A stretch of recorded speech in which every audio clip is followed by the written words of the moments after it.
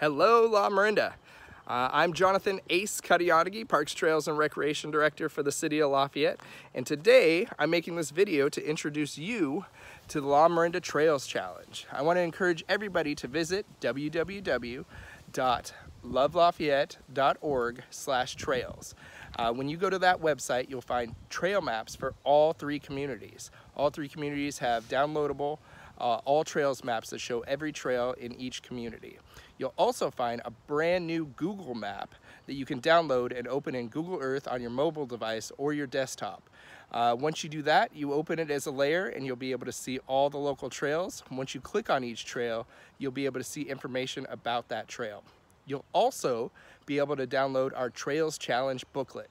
The challenge encourages you to either hike a marathon's distance, 26.2 miles, just like the East Bay Regional Park District's challenge, or do five of our eight objectives, similar to the Junior Ranger program from the National Park Service. The objectives include hiking your local trail, uh, finding disaster routes in case of an emergency, as well as registering for the community warning system, uh, hiking a regional trail with either the East Bay Regional Park District, John Muir Land Trust, or the or East Bay Mud. Uh, it, there's also a stewardship objective that encourages you to pick up trash on the trails.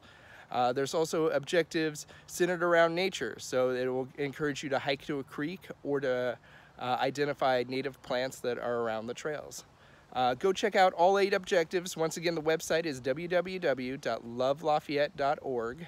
Uh, and there you'll find all the information you need about trails, as well as information about potentially dedicating trail easements to the city. Lots of useful information there. I encourage everyone to go. Uh, we do have free t-shirts that were provided by Coldwell Banker, our sponsors for the program, as well as pins that were donated by the Lafayette Youth Commission uh, the pins are the prize for completing either the eight objectives or hiking the distance, but the t-shirts are free to all while supplies last.